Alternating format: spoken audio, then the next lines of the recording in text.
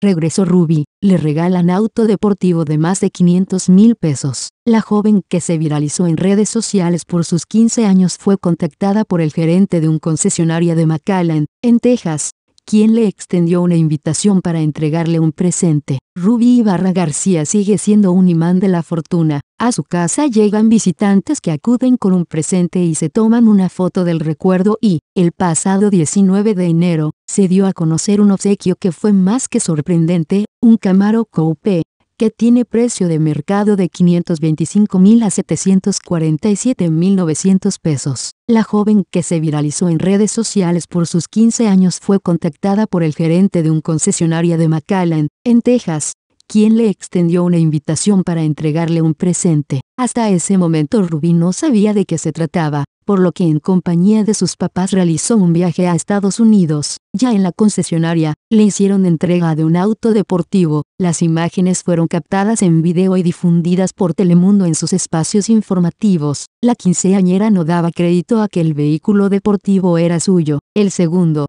como parte de sus regalos, el primero se lo entregó el alcalde de San Blas, Nayarit, Hilario Ramírez Villanueva, mejor conocido como el amigo Lallín, quien el pasado 26 de diciembre se coló a sus 15 años y le dio las llaves de un coche marca Chevrolet modelo 2016, tipo Spark, que tiene un costo de 190.100 pesos. Pero, ¿y el Camaro? Llegó desde McAllen. En el video se observa a Rubí subir al auto y sonreír. De paso, aprovechó para desmentir el supuesto embarazo que algunos medios han publicado y su intención de incursionar en el ambiente artístico. La joven no desmintió pero tampoco confirmó el supuesto contrato que le extendió la televisora de Chapultepec para ser parte de una serie. Por su parte, su padre, Crescencio Ibarra, confirmó el acercamiento con Marcos y Fuentes, director de la empresa Mercamorfosis. Sin embargo, mantuvo el hermetismo sobre su posible candidatura a la presidencia municipal de Villa de Guadalupe, en San Luis Potosí, por Excelsior 24 de enero de 2017.